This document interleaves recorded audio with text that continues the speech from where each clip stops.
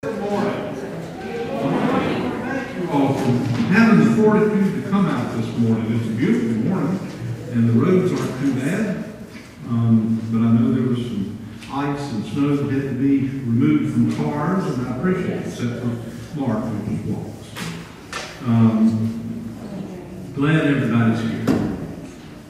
Wanted to point out a few announcements to you. Uh, they're the back of the bulletin.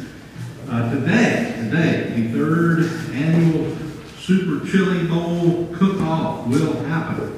Um, so please stay and, uh, and join us for some chili after the service. Uh, also want to remind you that this coming Saturday, the 24th, that's right, this, this Saturday's the 24th. Is that right? Um, it's going to be last chance to get your picture taken for the pictorial directory. Um, please see Naomi about, um, well, I don't is, it, is the sign up still in the back? Uh, it was in the back. If, if it's not in the back, see Naomi about when you can come if you haven't gotten a picture taken. And it, it does make a difference, mainly in that when people when people come to the church or join the church or visiting the church, it's so helpful to um, have pictures next to names. It, it, it's one of the tools that allows people to know um, each other, especially if you're new to the church. So please do that if you have not uh, got that done. Um, the Mount Hebron Church, uh, their men's group has invited our men's group to join them. Uh, they have every month a men's dinner. It's just a time of fellowship and um, getting to know one another. Mark and I went last time and it was fun. Uh, it's the last Wednesday of each month. This will be February 28th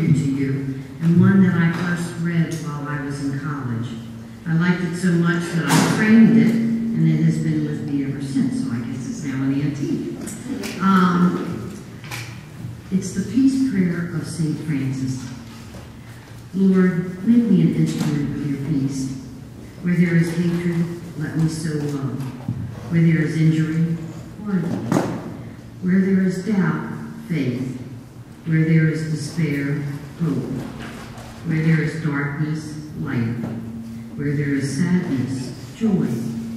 O Divine Master, grant that I may not so much seek to be consoled as to console, to be understood as to understand, to be loved as to love. For it is giving that we receive, it is in pardoning that we are pardoned, and it is in dying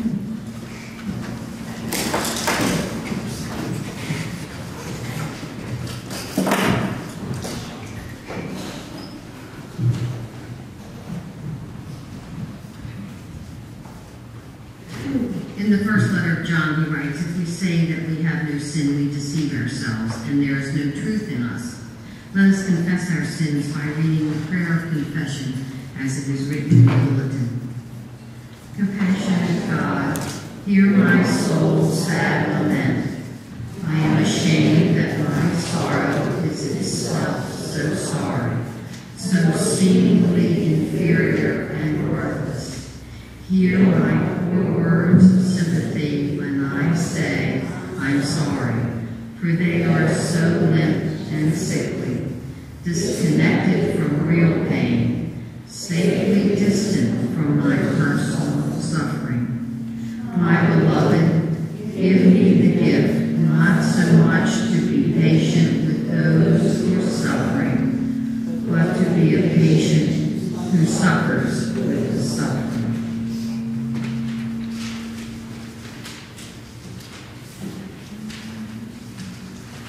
In the name of the Father, Son, and Holy Spirit, you are forgiven. Praise God.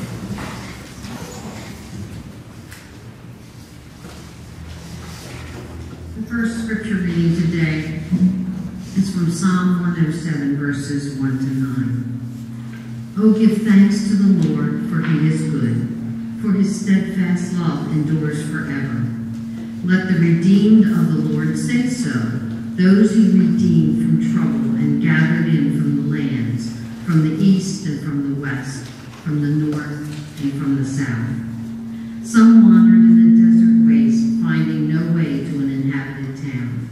Hungry and thirsty, their soul fainted within them. Then they cried to the Lord in their trouble, and he delivered them from their distress. He led them by a straight way until they reached an inhabited town. Let them thank the Lord for his steadfast love, for his wonderful works to humankind. For he satisfies the thirsty, and the hungry he fills with good things. This is the word of the Lord. it's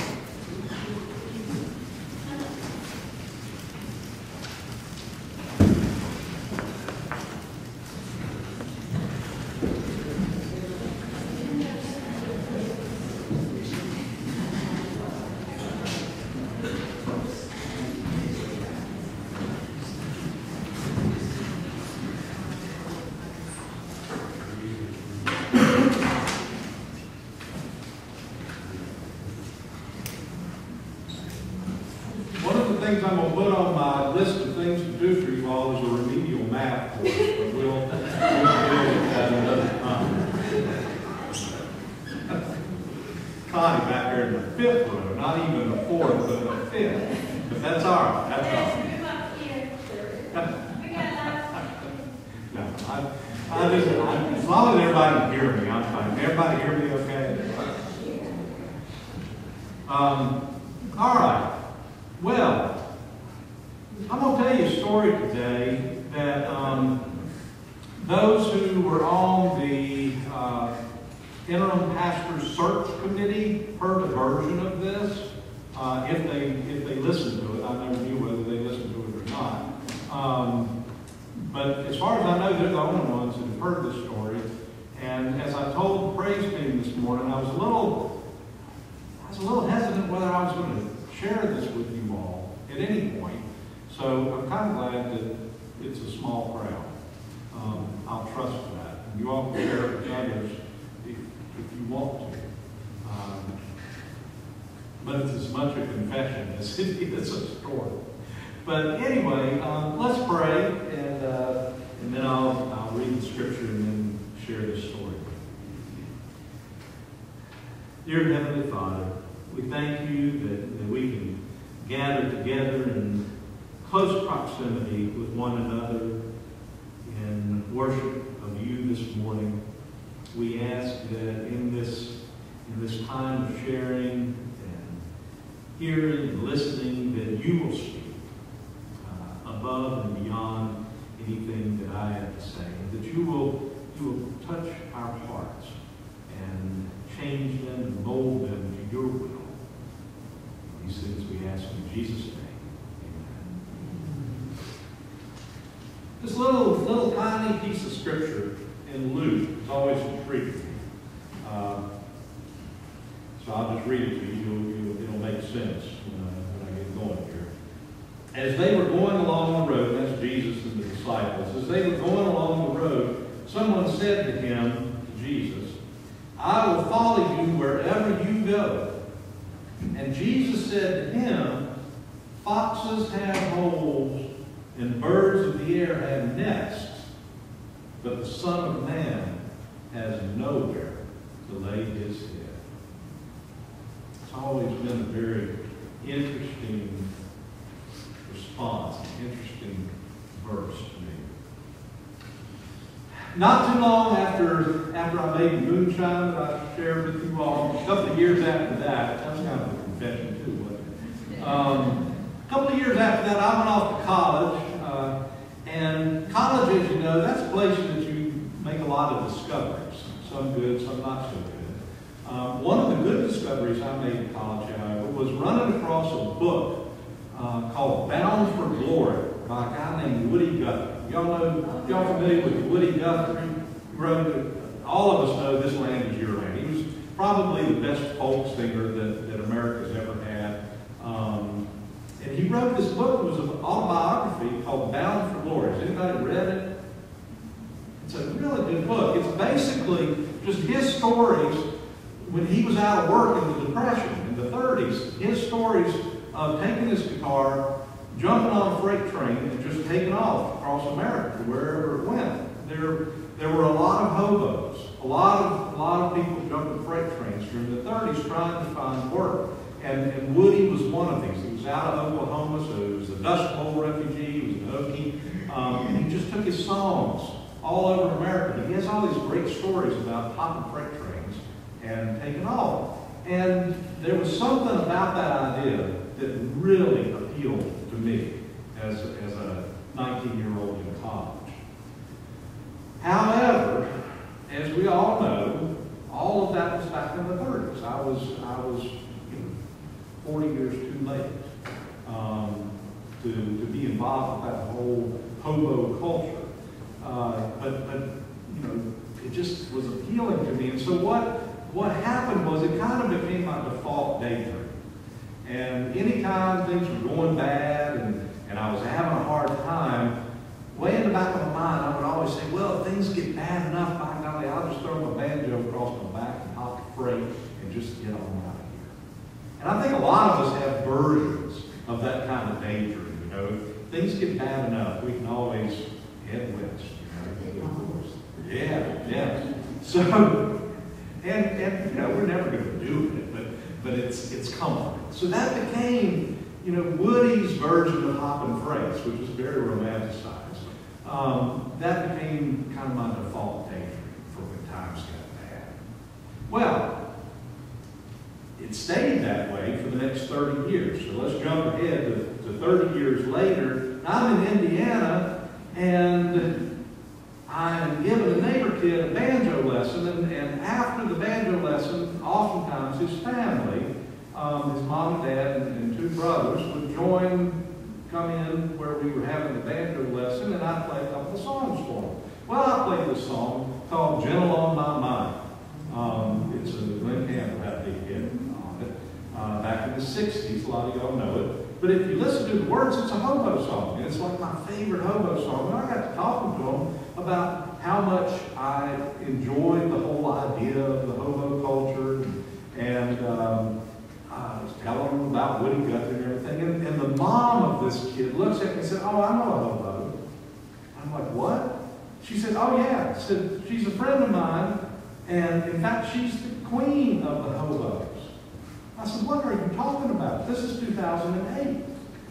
There are no hobos. She said, Oh, yes, there are. So there's a whole hobo community. They meet, they have a national meeting every year out in Britt, Iowa in August, and they elect kings and queens of the hobos every year.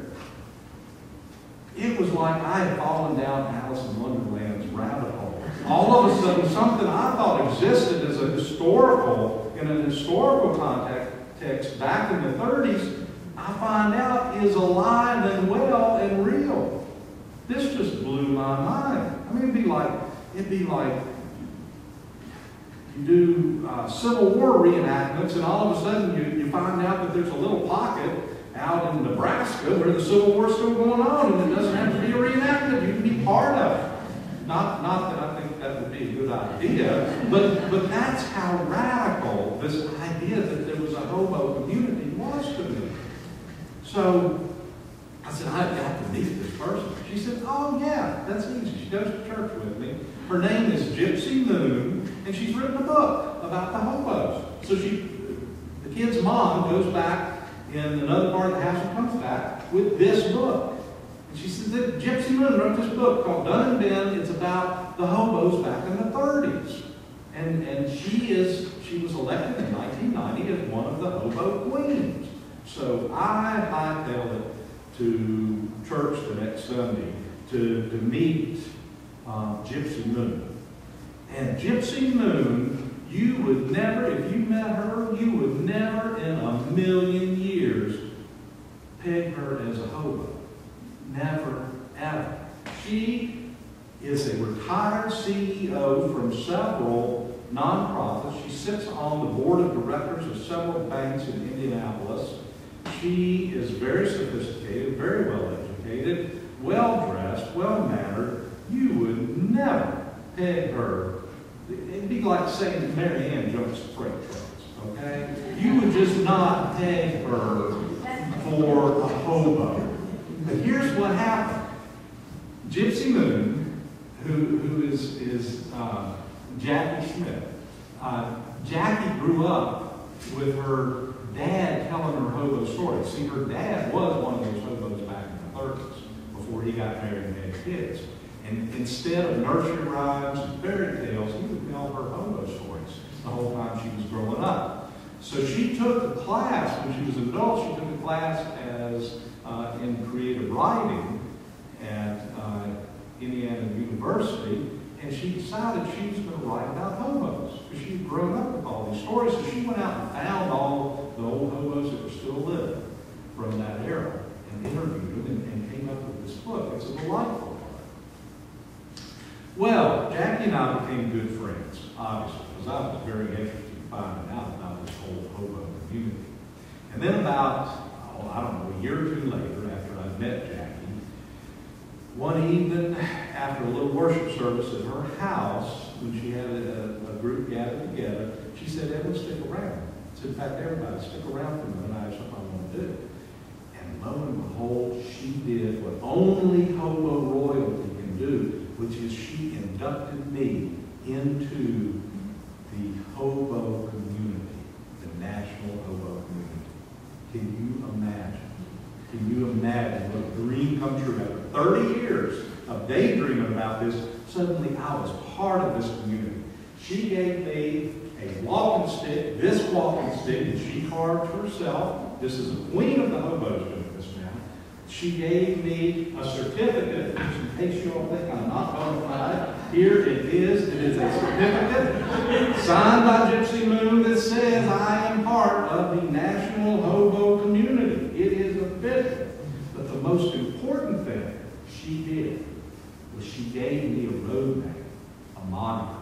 Every hobo has a road name. Now, there was a time when you didn't want your own name out there because you were riding rails and, and just getting by as best you could. But only royalty, only hobo royalty can give you a road name. And she dubbed me Banjo Blue.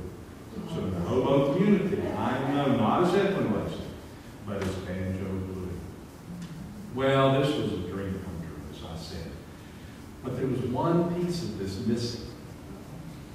And that was, how in the world could I walk up to another hobo and with any self-respect look him in the eye and say that I was a hobo when I had never set foot on a freight train?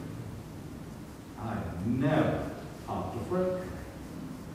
Well, I thought about this for a while, and I came to the conclusion if I was really going to be part of this hobo community, I was going to have to hop a freight. Now, I'm not 20 years old anymore, and I'm not a kid, and I'm not at a point in my life that, that I'm going to do rebellious and, and wild things. So this was a big and very private decision that I made. But on my 50th birthday, on a bright September morning, I went out to a town in Indiana with the intention of jumping on a freight train. Now, before I go any further, let me tell you, number one, hopping freights is one of the most dangerous things you can do. There are people every year that lose arms, that lose legs, that lose their lives. You can fall under a freight train split second if you lose your balance and you miss your step. And there are no second chances when that happens. So it is as dangerous as it can possibly be. It is also, as many of you know, Nancy especially, it is illegal. It, it, they will flat put you in jail, as Nancy knows, because of her dad. They will flat put you in jail if they catch you on a train. It is illegal. I was a pastor. This was not going to be a good thing for me for my career if I got put in jail for talking freight trains. And now that a few years have gone by and I look back on it, I realize that it's also just stupid. It's a stupid thing to do um, on so many different levels. But that said, on that morning, that September morning, in a little town in Indiana, I found myself standing beside freight train on the side that was waiting for another train that had higher priority to go by. And I have found about halfway back up through the weeds to avoid the engineers up in the locomotive, I had found about halfway back that there was a car, and every hobo has a favorite car, and my favorite car is a grain car. You always think of hobos driving in box cars. That's not always true, because box cars, first of all, they're about chest high, so they're hard to get into. Second of all, you don't know what's been hauled in that box car, so there could be all kinds of chemicals all over the floor that you don't want to be involved with. And thirdly, the view, unless both doors are open, is not a very good view when you're riding down the rail. Um, it's also, if both doors are open, it's, it's much easier for people to see you. So I like grain cars, because on the back of a grain car, with the whole car to protect you from the wind and weather, is a little porch. And it's also got a real good place to hide if, if you're coming through a town or something. It's just got a lot of advantages. So I found this little grain car, now halfway back on this train. I'm standing there trying to decide, am I really going to do this? And I, I hear the whistle of the, of the oncoming train that um, this train that I'm, I'm looking at is waiting for. And as it passes by, I decide, I've just got. If I don't do it now, I'm never going to do it. I'm that. And, and so I grabbed that rail on the ladder, and the second my boot touched the bottom rail of that ladder, my train started to pull out. So I swung up onto that little porch on the back of that, on the back of that grain car, and pulled out into what had been a dream for 30 years. I was on the freight train, I was riding, I hopped my first freight riding through the Indiana countryside, through those emerald gold or emerald green cornfields, and, and I was singing, This land is my land, the top of my lungs, I was having the best time in the world. I was like a kid on Christmas morning because it was real. I was actually doing it. And, and as we as we went through the Indiana countryside, it occurred to me that not only was I excited, not only was I happy, not only was, was I having fun, but I felt more alive than I had in years. I felt like I was fully alive in a way that I couldn't remember having experienced. And I got to thinking about that. Why? Because I looked around and I was sitting on a steel plate. that was dust dirt flying everywhere. There was cinders shooting up from the railroad bed. It was it was loud. My goodness, y'all stood, I'm sure, fairly close, maybe a, a block away from a freight train when it goes by. You know how loud it is. Well, imagine how loud it is on the thing. I mean, it's just deafening. It was one of the most uncomfortable situations I'd ever been in. Just physically uncomfortable. Dirty, loud, uncomfortable. And yet I felt fully alive. And I realized right then and there, you know, I spend a whole lot of my time and energy in making sure I'm comfortable. I started thinking about my house. You know, there's comfortable chairs, comfortable couches in my house. My bed's comfortable. I have heat. In the wintertime, I have air conditioning. In the summertime, I have carpet on the. Or if, if it's a barefoot on the a lot of time, energy, money is spent on making my environment comfortable. I have spent time making my office downstairs where I work comfortable. A nice, comfortable place to be. This church is comfortable.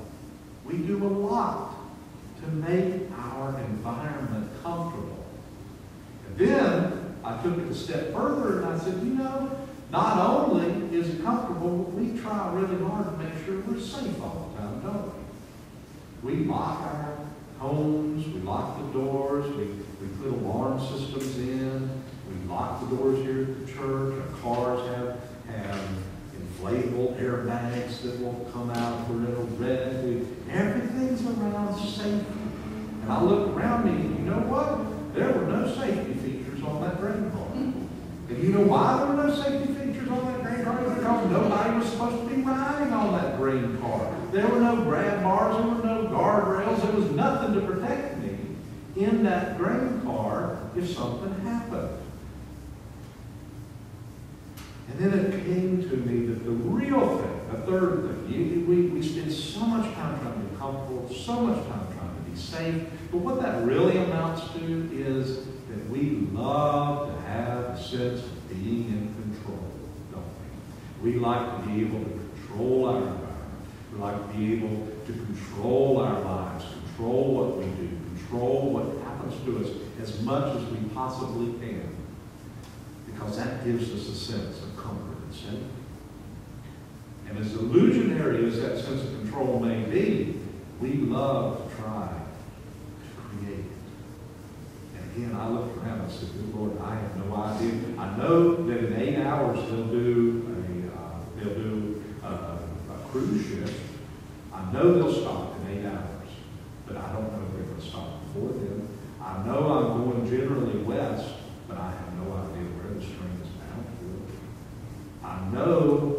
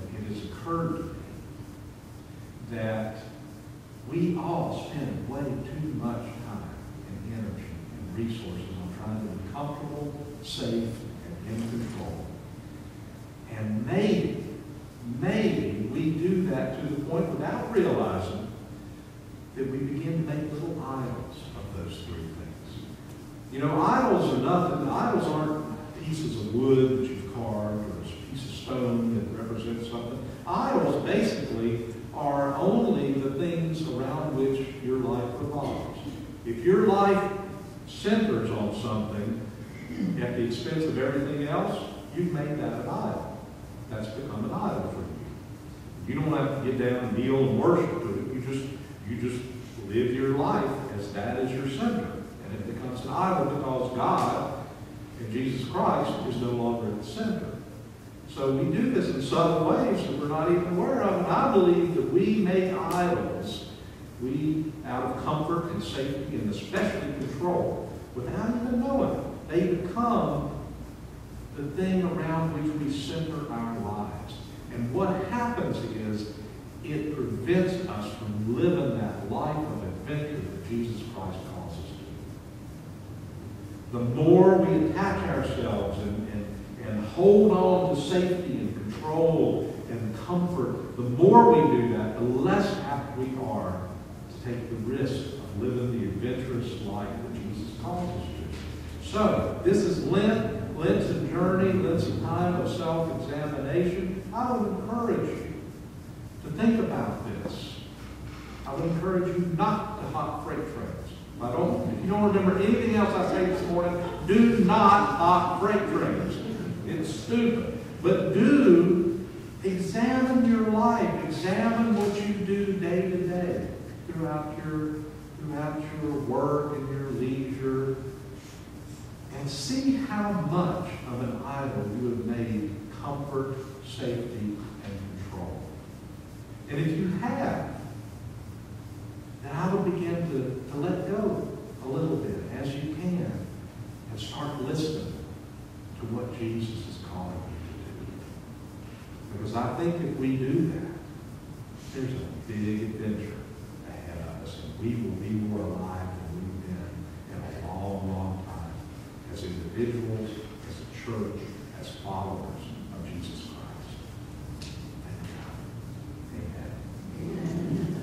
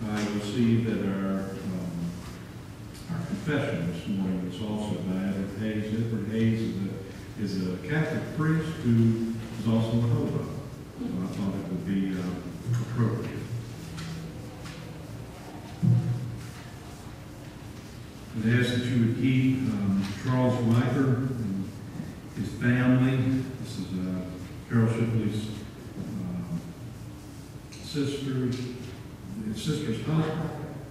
I'm sorry? Your brother, okay. Um, who, is- he is dying of cancer? So- Okay, all right. Um, So please,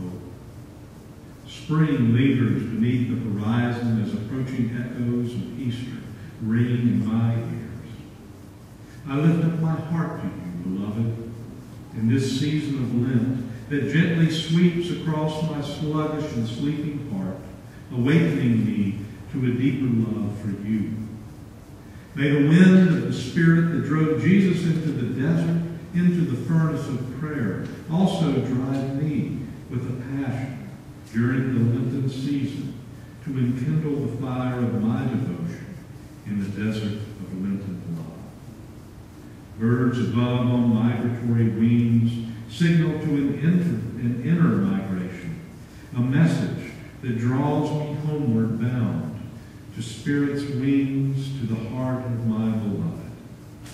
May I earnestly use this limitless season to answer the inner urge to return. We lift up these prayers in the name of our Lord and Savior Jesus Christ, who taught his own disciples and friends to say,